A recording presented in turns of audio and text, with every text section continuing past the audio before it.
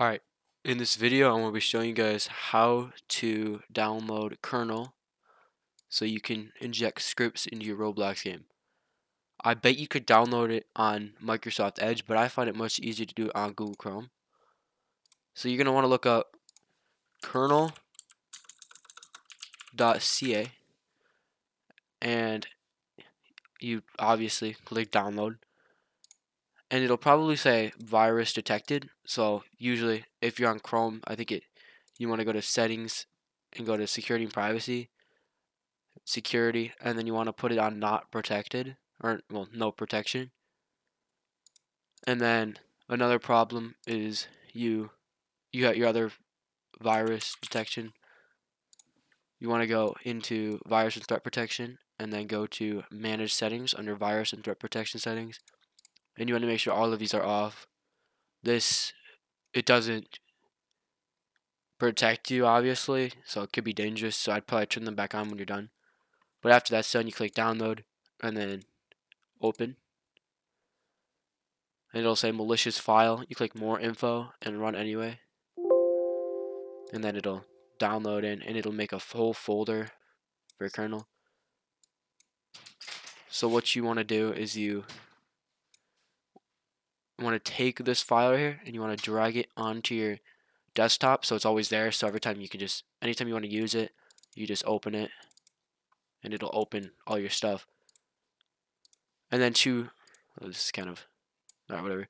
And then to open KRNL stuff you want to click KRNL ss you want to open that and it'll open up your KRNL. And then from there you want to go into your roblox game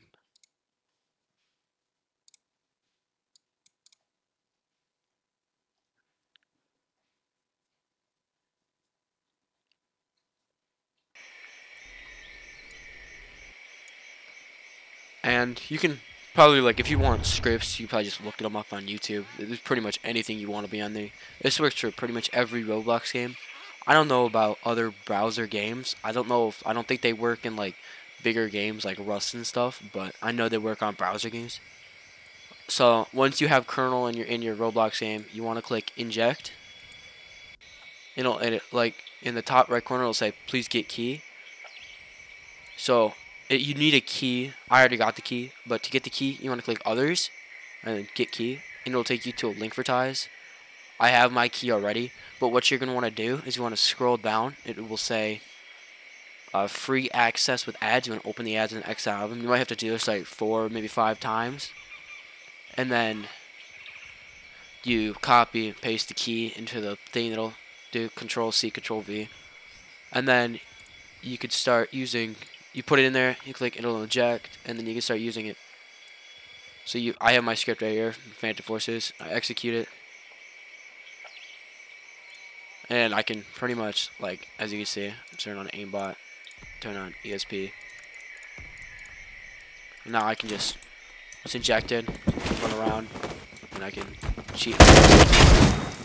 So yeah, uh, if you have any more questions, just ask in the comment section below. But it's pretty simple. I mean, if you're having other problems, I don't know how to address that. Maybe look it up. But, yeah, that's it. See you guys.